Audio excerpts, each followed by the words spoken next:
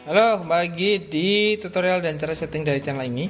Di depan saya ini sudah ada jam tangan G-Shock Gravity Master yang pertama ya GA1100KH 3ADR.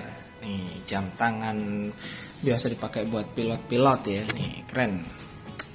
Tuh, dari bentuknya aja udah kelihatan banget bentuknya kayak pilot ya. Untuk displaynya sendiri ada ada jam, detik, terus AMPM, terus det, ini detiknya, terus ini di bawah ini adalah subdial untuk indikator modenya ya di atas itu adalah time, WT atau world time, STW, stopwatch, TMR, timer, alarm dan kompas. Jam tangan ini juga punya kompas. Di untuk aktifin kompasnya kalian tinggal tekan tombol yang ada di sebelah sini. Ini ada tiga tombol dan di sini juga ada dua tombol. Yang atas ini untuk light ya, untuk light untuk lampu, terus ini set itu untuk kalian pergi ke temperatur ya, jadi temperatur suhu karena dia ada sensornya. Terus yang ini yang uh, dial kecil ini yang ini itu tuh untuk wall time ya itu manfaat banget sih buat pilot-pilot yang mungkin lagi pergi ke mana kalian tinggal ini adalah home time kalian jadi home time home rumah kalian. Terus yang ini adalah untuk wall time-nya. Itu tahunya dari sini. Kalian pergi ke sini WT nah itu adalah kode negaranya ATH kalian kalau mau ganti juga tinggal di search aja nih. Dan dia bakal setting sendiri tuh. Ya ini adalah wall time nya jadi untuk uh, di Indonesia itu jam setengah satu di Jeddah itu jam setengah sembilan. Ya. Tuh sebelah setengah sembilan AM ya jadi sebelumnya. Kalau mau diganti juga tinggal gini aja. Dia bakal ke setting sendiri tuh. Keren. Cakep Terus fitur selanjutnya dia punya STW atau stopwatch untuk stopwatch kalian mulai pakai ini start, pause dan reset ya.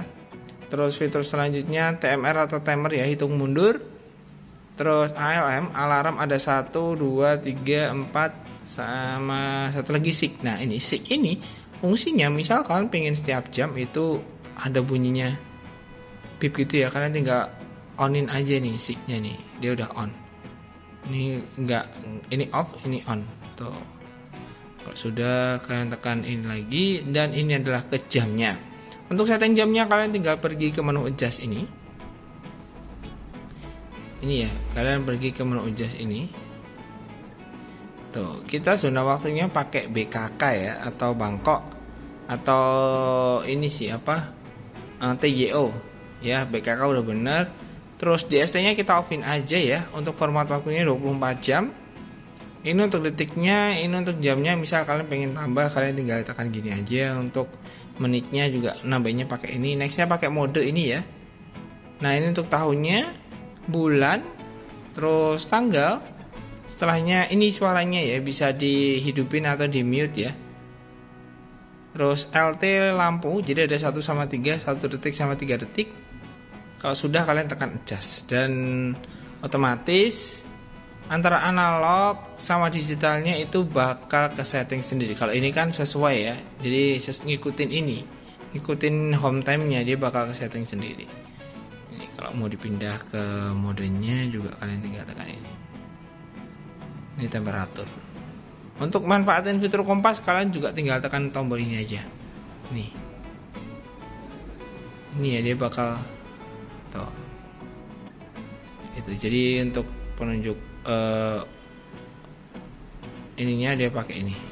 Tuh, pakai jarumnya ini ya. Itu bisa dikalibrasi juga. Dan nah untuk kalibrasi ya ngomong-ngomong kalibrasi jam tangan ini kalau mau dikalibrasi kalian pergi ke menu adjust ini ditekan terus.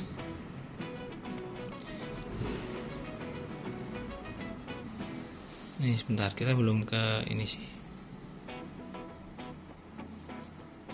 kita ke jamnya dulu kalau sudah kalian kalibrasi pakai ini. Nah adjust ini. Nah ada tulisan headset ini ya. Terus kalian lepasin. Ini adalah uh, yang pertama ya. Terus ah kebalik.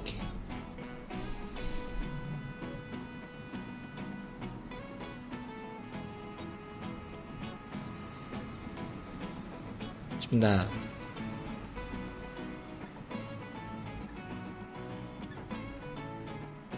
Nah ini kalian pastiin 00 ini jamnya ini yang angkanya ini ya yang jarum analognya ini harus pas di angka 12 dua-duanya.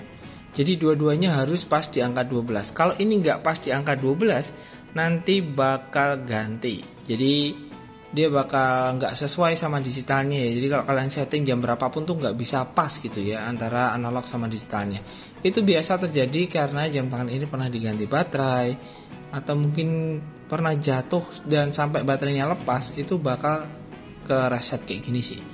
Terus ini untuk jam utamanya dan selanjutnya adalah subdial. Ini kalian pastiin harus pas di angka 12 juga.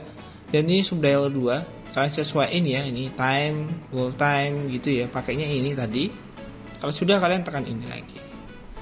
Dan dia bakal ke setting sendiri. Tuh, keren banget. Jam tangan ini punya uh, double sensor ya jadi lebih lebih sensitif juga. Untuk harganya di 4.599.000 ya. Untuk uh, lume atau fosfornya kayak gini. Tuh ini kalau kasih dikasih lampu lampunya nih terang banget tuh ya kalau tadi kan nggak begitu terang banget tapi kalau udah mati kayak gini pasti kelihatan banget tuh. Dan ini di uh, jarumnya tuh juga kelihatan banget tuh. Oke kalau kalian mau kalian tinggal WA aja di 0838 saya punya dua warna. Ada hijau ini satu lagi yang warna hitam ya. Ada dua warna. Kalau mau tinggal WA aja di 083865658989 bisa juga ke Instagram @elangaroji_solo marketplace kita juga bisa. Ada di Shopee, Tokopedia dan Bukalapak. Sampai jumpa di review video selanjutnya. Jangan lupa like video ini, subscribe yang belum subscribe. Karena kita bakalan upload video setiap hari, jadi silahkan tinggalkan komentar ya kalian pengen di review jam tangan apa. See you.